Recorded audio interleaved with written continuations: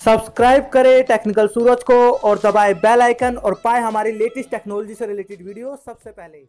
Friends आज की इस वीडियो में आपको बताने वाला हूँ प्ले स्टोर के एक ऐसे सीक्रेट ऑप्शन के बारे में, जिसके बारे में शायद आपने अभी तक नहीं सुना होगा, ना ही जाना होगा। अगर आपको इसके बारे में पता होगा तो आपने अभी तक इसको यूज़ नहीं किया होगा। अब दोस्तों, ये सीक्रेट सेटिंग क्या है? आप इसको कैसे ढूंढेंगे और आप इसको कैसे अप्लाई करने वाले हैं?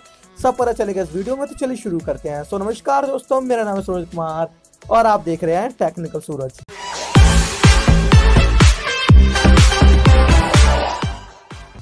फ्रेंड्स सबसे पहले मैं आपको उस सेटिंग तक पहुंचाऊँगा, उसके बाद मैं आपको बताऊँगा कि ये जो एक्चुअल में सेटिंग है, ये क्या काम करती है, इसको किस लिए बनाया गया था। तो चलिए जानते हैं। तो दोस्तों, सबसे पहले आपको करना क्या है, आपको जो अपने मोबाइल का प्ले स्टोर होता है सिंपल ओपन करें। ओपन करने के बाद यहाँ पर जो थ्री लाइन है, इस पर क्लिक करें। क्लिक करने के बाद यहाँ पे आपको बहुत सारे ऑप्शन देखने को मिलेंगे। तो आपको स्क्रोल डाउन करना है और यहाँ पर जो सेटिंग का ऑप्शन होता है सिंपल आपको इस पर क्लिक करना है। क्लिक होने के बाद यहाँ पे आपकी जो सेटिंग्स होती है, सारी ओपन हो जाएँगी। यहाँ पे आपको नीचे की तरफ़ स्क्रॉल डाउन करना है और यहाँ पे एक ऑप्शन देखने को मिलेगा जिसका नाम है यूज़र कंट्रोल्स। तो सिंपल यहाँ पे जो इसकी सबसे पहली सेटिंग होगी वो है पेरेंटल कंट्रोल्स। तो सिंपल इस पर क्लिक करें। इसके बाद यहाँ पे हमारी जो ये सेटिंग है, ये आपको कुछ इस प्रकार देखने को मिल जाएगी। दोस्तों, बात करते हैं कि ये जो सेटिंग है, ये क्या काम करती है, इसको किस लिए बनाया गया है?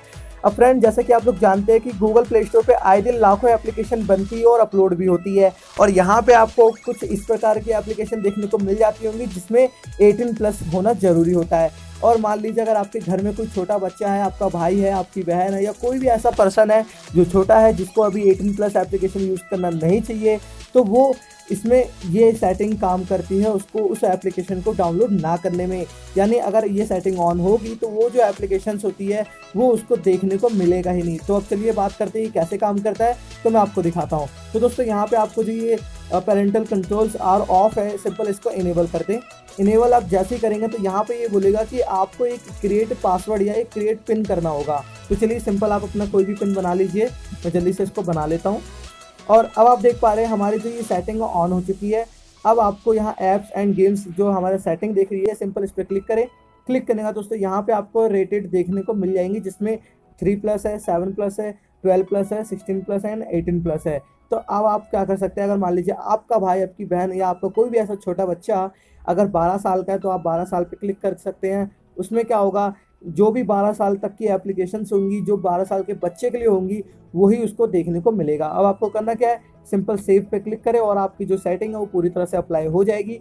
अब क्या होगा? इसके अंदर गूगल प्ले स्टोर के अंदर जितने भी एप्लीकेशन होंगी, वो एक 12 साल तक के बच्चे के लिए दिखाई जाएगी। यानी 18 प्लस वाली जितने भी एप्लीकेशन होगी, वो यहाँ शो नहीं करेगा।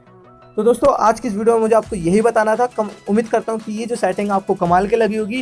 वीडियो अच्छी लगे तो वीडियो को लाइक करना ना भूले शेयर करना ना भूले।